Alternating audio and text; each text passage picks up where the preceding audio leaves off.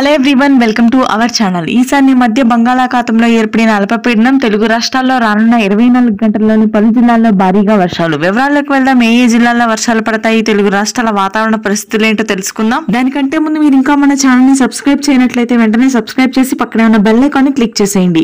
ఇక వివరాల్లోకి గనుక వెళ్ళినట్లయితే ప్రస్తుతానికి బంగాళాఖాతంలో ఏర్పడిన అల్పపీడన ప్రభావంతో ఉత్తరాంధ్ర మధ్యాంధ్ర జిల్లాలో చిరుజల్లులు మోస్తరు వర్షపాతం నమోదవుతుంది ఈ రోజు రాత్రికి. కృష్ణా గుంటూరు కోనసీమ అదేవిధంగా శ్రీకాకుళం విజయనగరం విశాఖపట్నం ప్రాంతాల్లో వర్షాలు కోరనున్నాయి ఇకపోతే ఉత్తర భారతదేశం నుంచి వీస్తున్న తేమగాలులు నైరుతి రుతుపవనాల తిరోగమన ప్రభావంతో కన్వర్జెన్స్ అనేవి జరగడం వల్ల మధ్య తెలంగాణ జిల్లాలైనటువంటి కరీంనగర్ వరంగల్ హైదరాబాద్ పరిసర ప్రాంతాలు మేడ్చల్ మంచిర్యాల రంగారెడ్డి జిల్లాల్లో కూడా అక్కడక్కడ భారీ వర్షాలు కోరనున్నాయి ఈ రోజు రాత్రి లేదా రేపు తెల్లవారుజామున. ఇక అరేబియా మహాసముద్రంలో ఏర్పడిన అల్పపీడనం వాయుగుండంగా మారడంతో రాయలసీమలోని అనంతపురం కర్నూలు ప్రాంతాల్లో చిరుజల్లులు మోస్తరు వర్షపాతం ఉంటుంది. సెప్టెంబర్ పదిహేను తర్వాత తెలుగు రాష్ట్రంలో కుండపోతగా వర్షాలు కురుస్తాయి. అప్పటి వరకు అడపాదడపా వర్షాలు మాత్రమే ఉంటాయని ఐఎండీ వాతావరణ కేంద్రం వెల్లడించింది. ఇది ప్రస్తుతానికి ఉన్న వాతావరణ update. Thanks for watching this video please do